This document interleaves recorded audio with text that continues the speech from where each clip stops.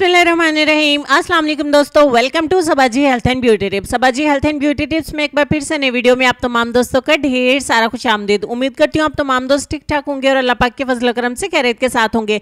जी हाँ आज की वीडियो में आपको मैं घर पर ब्लीच करने का तरीका सिखाऊँगी और ब्लीच हम बनाएँगे भी घर पर। मार्केट की जो केमिकल से भरी ब्लीच होती है, उससे चंद दिन तो हमारे चेहरे पर बहुत प्यारी रौनक आती है, निखार आता है, लेकिन जब हम उसको छोड़ देते हैं, दोबारा रिपीट नहीं करते हैं तो हमारी स्किन बहुत ज़्यादा डल हो जाती है, काली होना स्टार्ट हो जाती है।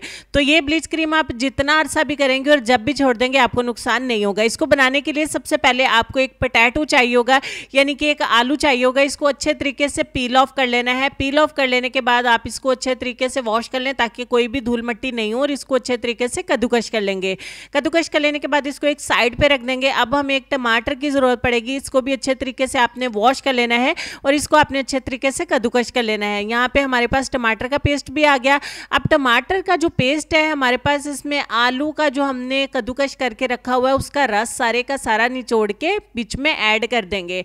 अगर आप चाहें तो छलनी का इस्तेमाल भी कर सकते हैं, मलमल के कपड़े का इस्तेमाल भी कर सकते हैं और हाथ की मदद से भी अच्छे तरीके से इसको ऐड कर सकते हैं।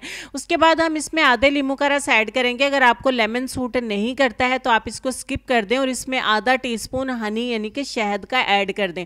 लेकिन अगर आपको लेमन सूट करता है तो ज़रूर ऐड करिएगा। उसके बाद इसमें एक चम्मच ऐड करेंगे बेसन का और एक चम्मच ऐड करेंगे मुल्तानी मिट्टी का। यहाँ पे तमाम चीज़ों को आपने अच्छे तरीके से मिक्स करके एक पेस्ट तैयार कर लेना है। और यहाँ पे मैं आपको इसकी कंसिस्टेंसी चेक करवा देती हूँ। देखें, इसमें छोटे छोटे बबल्स बनने स्टार्ट हो जाएँगे और फुटकियाँ सी बननी स्टार्ट हो जाएँगी। तो आपने इसको थोड़ी देर के लिए रखना है ताकि बेसन और मट्टी ने जितना भी लिक्विड सोक करना है वो कर ले और ये बिल्कुल एक्टिव हो जाए। उसके बाद आप इसको अप्लाई करेंगे। यहाँ पे ये मुझे थोड़ा सा थिक लग रहा है। देखिए, हम अप्लाई करके देख लेते हैं। इतना हमें थिक नहीं चाहिए। ये तो बहुत जल्दी से ड्राई हो जाएगा। हम इसमें थोड़ा सा दूध या थोड़ा सा पानी या गुलाब का अरक या फिर दही, अपनी स्किन के अकॉर्डिंग थोड़ा सा ऐड करेंगे। मैंने पानी ऐड किया है और तमाम चीज़ों को एक बार फिर से अच्छे से मिक्स कर लिया है। यहाँ पे देखेंगे बिल्कुल थोड़ा सा फुटकियों के टाइप नज़र आएगा, जैसे कि ब्लीच क्रीम फट जाती है या दूध फट जाता है, इसी तरीके से बन के तैयार हो जाएगी। दैट्स मीन कि आपकी स्किन के लिए बिल्कुल सूटेबल है।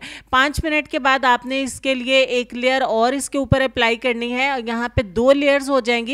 जब ये थोड़ा सा ड्राई और हो जाए, तब आपने इसके ऊपर एक तीसरी लेयर और अप्लाई करनी है। यहाँ पे तीन लेयर जो है, वो मैंने अपने हैंड के ऊपर अप्लाई की आपको स्किन के ऊपर फेस के ऊपर भी दो से तीन लेयर ही अप्लाई कर लेनी है। ठीक हो गया जी अप्लाई करने के बाद, जब तीन लेयर्स अप्लाई हो जाए, तब आपने इसको पंद्रह मिनट के लिए छोड़ देना है। तो यहाँ तक वीडियो अच्छी लगी है तो ज़रूर लाइक करिए शेयर करिएगा अपने दोस्तों के साथ। फाइनली पंद्रह मिनट के बाद देख लेते हैं क्या सूरत हाल है। पंद्रह मिनट के बाद ये आपका अच्छे से ड्राई हो जाएगा, आपकी स्किन इससे टाइट भी होगी में खिंचाव होगा हल्की हल्की सी इचिंग भी होगी, लिहाजा घबराने की ज़रूरत नहीं है। उसके बाद हम इसको वॉश कर देंगे। इस ब्लीच क्रीम के इस्तेमाल से आपके चेहरे पर हल्की हल्की सी खारिश जैसी इचिंग सी होगी, लेकिन आपको घबराना नहीं है, आपको ये समझना है और इससे ये यकीन कर लेना है कि आपकी स्किन के ऊपर अच्छे से वर्क कर रही है। तो यहाँ पर हम एक ही दफ़ा से डिफरेंस इसका देख रहे हैं कि कितना अच्छा हमें रिज़ल्ट मिला है। इसको आप डेली बेस पे भी इस्तेमाल कर सकते हैं और हफ़्ते में दो बार भी इस्तेमाल किया जा सकता है। आपकी स्किन के हिसाब से जितनी ज़्यादा आपकी स्किन को ज़रूरत है।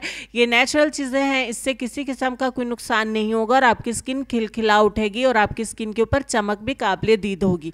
तो चलते हैं अपने आज के लेसन की तरफ़ और लेसन में आपको ये कहना चाहेंगे कि सबसे बुरा खेल वो है जो किसी के खलूस से खेला जाए। इस बात पर डीपली गौर करिएगा, अपना ढेर सारा ख्याल रखिएगा। मिलती है आपसे नेक्स्ट वीडियो में, तब तक के लिए इजाज़त दीजिए। अल्लाह हाफिज़।